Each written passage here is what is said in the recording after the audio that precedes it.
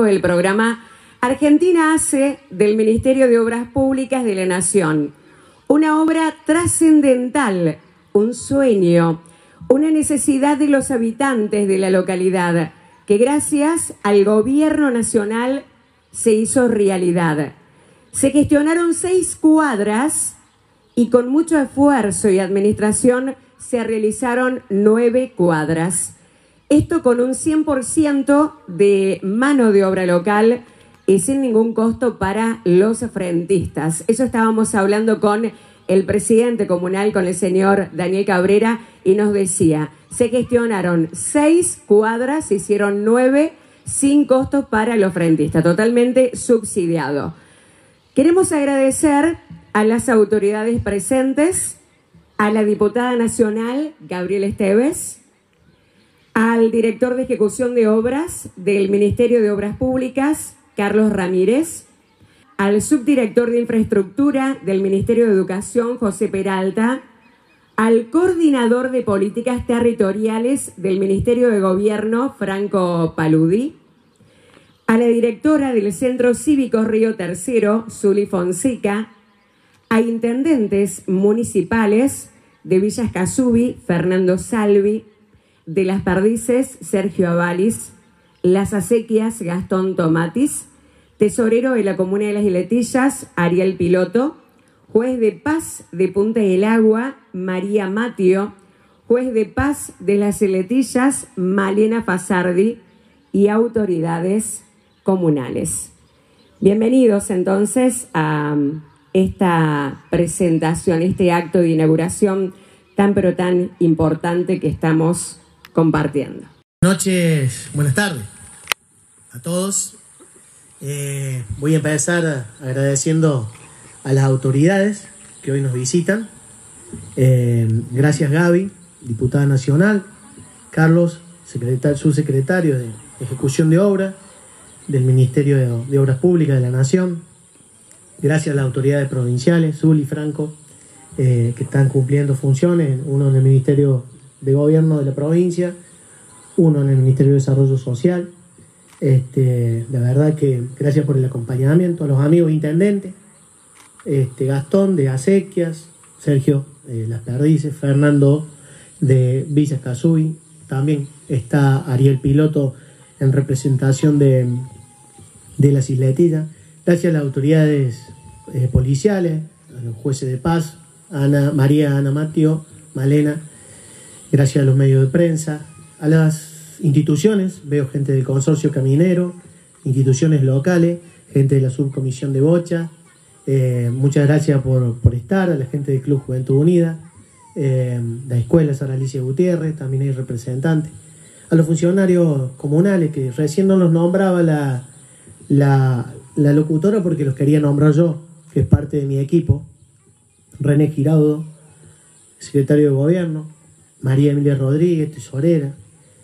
eh, José Luis Dagati, secretario de la Comisión Comunal, eh, Guillermo Estuqui, miembro del Tribunal de Cuentas, Marcos Cabrera, presidente del Tribunal de Cuentas, Sandra Caudana, también del Tribunal de Cuentas, los chicos que son secretarios, Melissa Ceruti de la Mujer y Juventud, Juan Palmieri de Deporte, Betty Vélez, que hoy no está presente por, por problemas personales, que es secretaria de Cultura. Eh, la verdad eh, que es un equipo que, que trabaja muchísimo y, y, también quería agradecerlo y ser yo quien nos nombrara. La verdad que hoy es una jornada histórica. Algo les comentaba eh, recién en, en mi oficina a los que estaban conmigo, porque si bien es un pueblo que está rumbo a cumplir 333 años y que seguramente tiene hitos muy históricos, como ha sido la visita de San Martín, dos pasos de San Martín en la localidad, una misa que celebró atrás mío donde estaba la, antigua capilla John Mastei Ferretti, quien después fue Pío IX Papa, también están estas cosas, que, que a lo mejor son menores, pero no, no por eso no van a ser importantes, que es nada más y nada menos que inaugurar la primera obra del gobierno nacional en nuestra localidad con tantos años que tiene. Así que la importancia de la visita de ustedes, funcionarios nacionales, es realmente muy grata para nosotros porque también están haciendo historia. ¿no? Eh, también tengo que agradecer eh, a, los chicos, a los hombres y mujeres que trabajaron en esta obra, partiendo del arquitecto que llevó toda la dirección técnica, eh, Diego que fue un poco el coordinador de, toda la obra, que fue el que los asistía tanto a nosotros como a los chicos, a nosotros cuando digo al equipo de la comisión comunal, que por ahí pobre Diego fue el que más, al más peleamos, porque lo peleaban los que trabajaban y lo peleaba yo. Así que él que tuvo que aguantarse todo, pero la verdad que, que trabajó muy bien. A Alfredo, que no está hoy, pero hizo la parte bruta, digamos, de maquinaria, de logística, y por supuesto los responsables, yo diría, de una obra de arte. ¿Por qué una obra de arte? Porque cada doquín de esos cientos de miles que ustedes ven en esta calle se han colocado uno a uno. Por eso es una obra de arte, que, que fueron los chicos. Eh, espero no, olvidarme, lo voy a contar, pero eh, Cacho, le voy a nombrar por el sobrenombre porque es como lo conocemos nosotros, de Pimpa, Crencha, Facu, Ale, Darío, Claudio, Castillo, Paco, que también estuvo, las chicas, porque también trabajaron mujeres, Dai, Flavia, Dalma, Sandra, Mili, también ellos van a pasar a ser parte de la historia. Yo les decía que muchos recordamos cuando nuestros abuelos o bisabuelos hicieron el puente o hicieron el arroyo. Muchos vamos a recordar cuando construyeron la iglesia. Bueno, también ellos, de acá varias generaciones, van a ser parte de la historia de Punta del Agua porque han construido y han hecho estas, estas cuadras de adoquines que la verdad que hacen y le dan una, una infraestructura al pueblo que, que, lo deja cada vez más bonito. Eh, como les decía, de importantes, de grandes, de pequeños, de diferentes este, hechos, se hace un poco la historia de este pueblo y, y la verdad que, que, sirve, vale la pena eh, fomentar y, y comentar esto. El equipo de gobierno siempre tuvo una sola meta, que es mejorar la calidad de vida de todos los vecinos de la, de la localidad. Para nosotros esa meta es que cada vecino de Punta del Agua valga exactamente lo mismo que un vecino de una ciudad de Córdoba, de nuestro país. Que tenga todos los servicios y que tenga la mejor calidad de vida. Esa siempre fue la meta. Debo reconocer que con un gobierno nacional que apoya y acompaña, realmente da gusto poder gestionar. Porque hemos sido muy bien acompañados por Gaby, Gastón, por Martín, este, Martín Gil, que no está presente, es el intendente de, Villa María, creo que actual ahora porque ha, dejado la, la, Secretaría de Obras Públicas de la Nación, pero Martín también, un agradecimiento para él porque nos acompañó. Y esto es así, cuando mientras, mientras nosotros, mientras este equipo tenga las ganas intactas de, trabajar y con el acompañamiento de ustedes, de los funcionarios, con el acompañamiento de la gente, seguramente vamos a seguir haciendo mucho más por Punta del Agua. Esa es la verdadera, la verdadera meta. Así que quiero agradecerle y desearles un feliz 2022 para todos. Muchísimas gracias. Y demás autoridades de, del pueblo, comunidad, porque veo que está toda la comunidad y, y eso es lo que siempre tratamos. Digo, las obras se hacen para los pueblos, para la comunidad, para mejorar, como decía la, cal la calidad de vida de, del pueblo. Eh, primer mensaje es eh, transmitirle el saludo de Martín Gil, que hasta hace horas era el secretario de Obras Públicas de la Nación, una persona que se puso al hombro eh, las obras de la, para la provincia de Córdoba y ayudó absolutamente a gestionar todas las obras dentro de la provincia, junto con Gaby y otros funcionarios que estamos en la Nación, pero pertenezco a la, a la secretaría donde Martín hasta hace hora era el secretario y hoy actual intendente de la ciudad y me hacía transmitirle a la comunidad de Punta del Agua y al intendente y a los demás intendentes presentes eh, el saludo. Así que eso no, no lo quería decir. Y hoy cuando venía para acá había hablado algo con Martín en, algún momento y, bueno, recordábamos por ahí cuando nosotros entramos en el Ministerio de Obra Pública de la Nación y nos encontramos en el 2019 con apenas 80 obras eh, en el país. Y la dirección nacional en la cual me toca dirigir. Hoy solamente esa dirección nacional tiene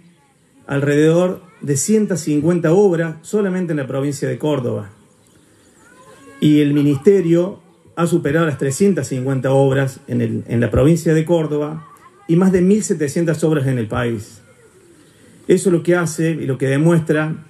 que este gobierno nacional, nuestro presidente, nuestra vicepresidenta, nuestro ministro Gabriel Catopodis, tienen la firme decisión política de llegar a cada municipio del país. Y es lo que hoy estamos plasmando acá, lo que estamos viendo, pudiendo recorrer, que es esta hermosa obra que se acaba de terminar. Así que bueno, yo los saludo, un feliz 2022 también para toda la comunidad y bueno, a disfrutar la obra que sin duda va a mejorar la calidad de vida de todos los vecinos y vecinas. Las instituciones, los funcionarios y funcionarias nacionales, provinciales, saludo especialmente a las compañeras de PAM y de ANSES que siempre están por aquí apoyando y resolviéndole cosas a los vecinos. Y la verdad que uno se pone muy, muy feliz de estar hoy en un pueblo del interior profundo de nuestra provincia, inaugurando una obra de infraestructura tan importante por decisión política del Gobierno Nacional. Y esto lo quiero remarcar puntualmente porque me parece que es importante. El Gobierno Nacional tomó la decisión política de que las obras de infraestructura puedan llegar a cada uno de los municipios y comunas de todo nuestro país. Y eso, a nosotros, una provincia como la nuestra, donde las obras están concentradas en las grandes ciudades, donde está concentrada la riqueza y donde muchas veces no se ven llegar obras de, este, de esta envergadura hacia los pueblos del interior profundo, realmente uno puede dimensionar la capacidad de transformación que tiene en la vida de los pueblos este tipo de obras, no solamente por lo que significa el cambio de vida en tener este adoquinado, en embellecer al pueblo, sino también por la generación de trabajo. Recién el intendente nombraba la cantidad de vecinos y vecinas del pueblo que habían trabajado en esta obra y eso significó nada más y nada menos que todo ese dinero quede en el pueblo. No solamente mejoró las condiciones de vida en torno a la obra, sino también en torno a la economía del pueblo. Y esto es importante porque habla de una mirada por parte del Gobierno Nacional que tiene que ver con generar eh, movilidad económica en los pueblos del interior profundo de nuestro país, porque este programa está pensado de esa manera. No solamente se lleva a cabo una obra de infraestructura, sino que dentro de la manera que se tiene que desarrollar la obra consta que debe contratar gente del pueblo y que además parte de esa gente que trabaja en la obra deben ser mujeres. Eso habla del espíritu que tiene el gobierno nacional, no solamente de federalizar, sino también de generar mejores condiciones de vida para los vecinos y las vecinas, generando redistribución de la riqueza. Para nosotros eso es muy importante decirlo y es muy importante que los vecinos y vecinas sepan cuál es la voluntad política del gobierno nacional. Luego también eh, pensar en, lo que decía recién el director nacional, eh, cuando planteaba que eh, en torno a las obras que se están haciendo a nivel nacional, Córdoba es una de las provincias que más obras de infraestructura está recibiendo. Seguramente porque tenía una gran postergación y una gran necesidad de, obras, pero también porque hay una mirada estratégica del Gobierno Nacional hacia nuestra provincia que la considera central en el desarrollo y en el, y en el modelo de país que se quiere llevar adelante. Una provincia productiva, pujante, fuerte, que tiene eh, muchísima capacidad de desarrollo industrial, con muy buenos recursos humanos, necesita tener las obras de infraestructura que acompañen ese proceso que puede llegar a dar nuestra provincia, siendo la centralidad de un proyecto de país vinculado al desarrollo con inclusión. Por eso para nosotros hoy estar aquí es muy importante, poder terminar el año eh, dando una noticia tan linda para todos los vecinos y vecinas y sobre todo pensar en que esta es una primera parte de una obra que tiene que continuar, que va a seguir profundizando no solamente la mejora de la calidad de, de vida de los vecinos y vecinas, sino también la generación de empleo y de alguna manera recuperar eso que planteaba Daniel al principio, que tiene que ver con